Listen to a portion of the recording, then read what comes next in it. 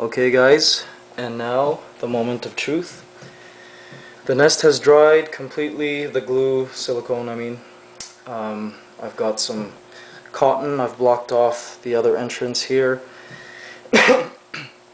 and I've got a little uh, barbecue skewer um, in case I need to guide some of the brood. And of course I have my tetramorium here and let's just simply hope for the best. I've got pieces of tape here in case I need to tape this test tube here. So I need to remove the cotton swab which will thereby expose the queen. She is with her eggs. Now I'm hoping this works. I just like this. Now, she really doesn't know what to do. Wow, I'm looking at her young now and the majority are pupae and some really mature uh, some mature larvae. Now I'm trying to decide whether I want to tap her in or just leave this test tube here for her to go in herself. Doesn't look like those pupae are going to go anywhere. Another thing I can do is somehow bring the cloth out.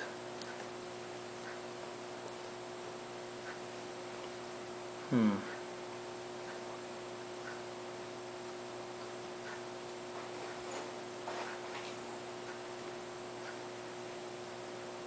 And I think I'm going to try to pull the cloth. Oh, there we go. We have a few pupae that fell out. There we go. Luckily I have my stick here to collect them.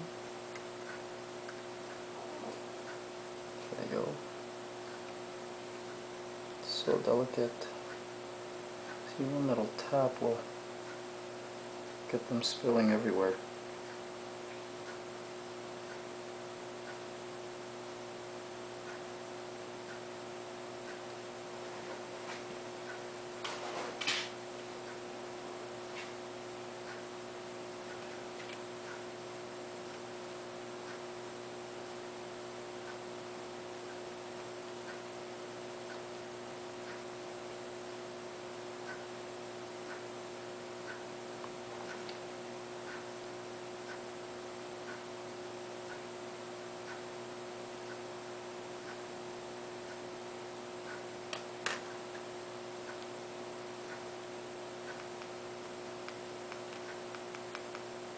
On. I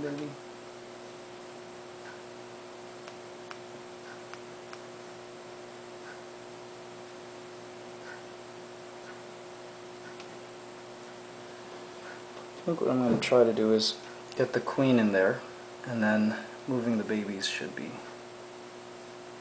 fairly simple.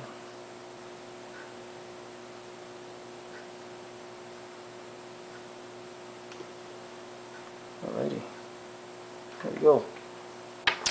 So now, after all of that, her babies are inside. She herself is inside. See right there. And right now she's kind of exploring the place. And there you have it. Right now she's collecting all the pupae that have scattered. She's put them all in a group to a neat little pile inside there. She's cleaning herself. She's in new surroundings. And let's just hope for the best. Hope she adapts well to this new nest of hers. And hope her new family really likes it as well.